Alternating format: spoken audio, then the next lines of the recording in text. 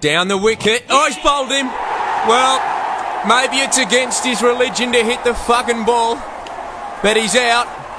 Now, the players this year have been asked to, uh, whenever possible, cover up the responsibly part on the gamble responsibly signage around the ground.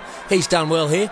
Um, so, if you've been with us for the last 30 seconds or so, deliberating on this boundary, uh, you should be gambling by now.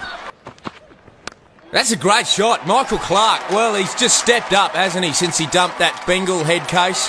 Uh, I think his footwork's really improved at the crease without her there now harassing him about what to wear to an event and if she looks like a slut in some dress or some bullshit. Well, that's in the air. Oh, and he's dropped it. Well, there you go. You can hear the jeers of the crowd. Uh, I just heard someone behind me yell, shit cunt. Uh, pretty appropriate. That, that should have been held. We've got a trivia question here today. Um, yeah, all right, here we go. In the 84 85 West Indies Tour of Australia, Joel Garner put a Perth girl in a wheelchair with his massive black cock.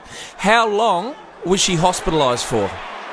Um, well, look, I remember Courtney Walsh did abroad behind a bin in a nightclub car park, and they had to get the jaws of life to get his cock out.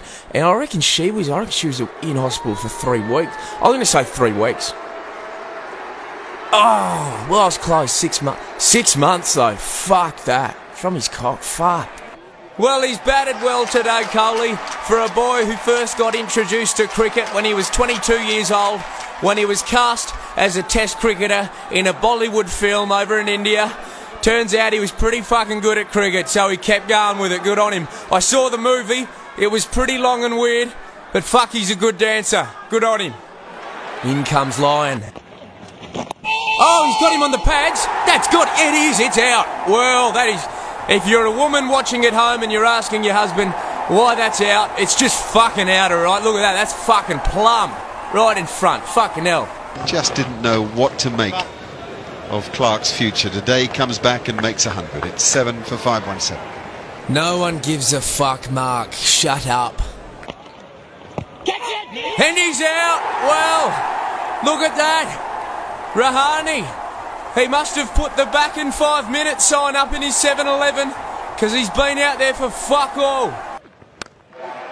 Clarke now flicks it off his legs. That'll be it. A special ton. He's done it with a sore back too. I can't even do me wife in the morning with a sore back.